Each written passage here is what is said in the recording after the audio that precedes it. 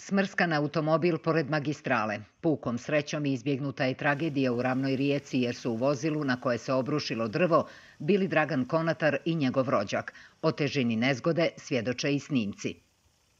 Na mjestu na kojem je juče uslijed jake kiše palo stablo na cestu, danas gotovo da nema vidljivih tragova. Zanimalo nas je međutim mogu li se ovakve nezgode spriječiti.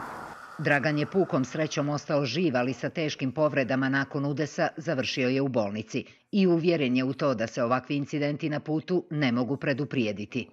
To je trenutak koji, koji nije niko mogao ni da pretpostavi da će da se desi, niti je mogao biti izbjegnut.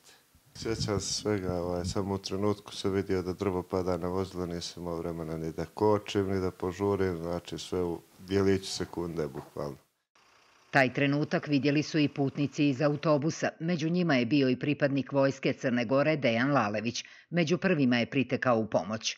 Znajući da ako je povreda neka kičme i ovaj da ne bi mogao da ga pomjeram, možeš i da pomjeriš nogu i aj mogu, onda se ga malo udesno okrenuo, otkačili smo pojas, kondukter firme Elan je ugasio vozilo, izvukao ga, spustio ga, izašli smo, polako ga izvukao, grnuo ga jaknom, kad je došla policija, policija je, samo sam rekao policiji hitna da ga grudi bole jer mi on to rekao.